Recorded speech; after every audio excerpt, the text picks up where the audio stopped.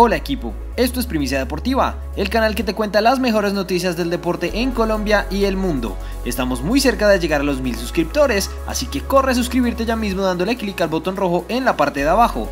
Atención, noticia confirmada, Colombia y Argentina serán las sedes de la Copa América 2020.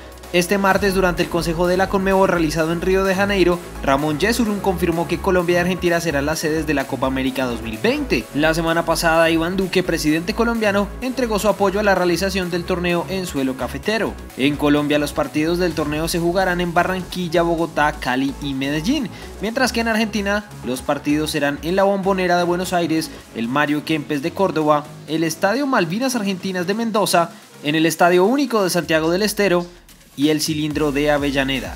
El torneo se dividirá en dos grupos. El grupo norte con Brasil, Ecuador, Perú, Venezuela, un país invitado y el local Colombia, mientras que el grupo sur tendrá a Argentina, Chile, Uruguay, Bolivia, Paraguay y un invitado. Aún no se sabe cómo será el esquema del torneo luego de la finalización de la fase de grupos. Esto fue todo por ahora. No olvides contestar la pregunta que siempre dejo en la caja de descripción.